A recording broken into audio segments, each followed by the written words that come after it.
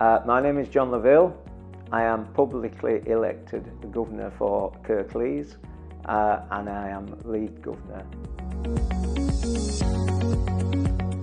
There are three uh, main roles of a council member.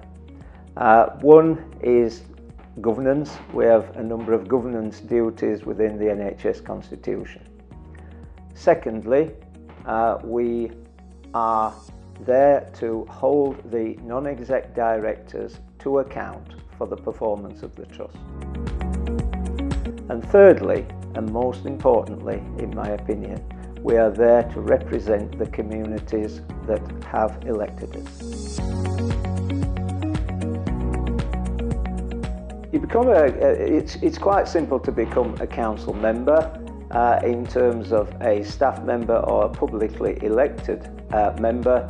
You simply self-nominate uh, and then we go through an independent election process of the members in that area. So in my particular case of Kirklees, the members in Kirklees voted um, in the election which um, I was successful. There are three specific groups in the Members' Council. Um, one is that uh, of appointed governors and they are appointed from our partner organisations the acute trusts, the councils uh, in the areas that we, uh, we work. Uh, the second group uh, is staff uh, and again they represent the different sectors uh, within the staff area, within the four and a half thousand people who work for the trust. and then the third sector is publicly elected governors uh, so those are from five areas uh, which are sort of the geographic council boundaries, uh, Barnsley, Wakefield, Calderdale, Kirklees and the rest of Yorkshire and neighbouring counties. Uh, well, I became a council member uh, through personal experience really.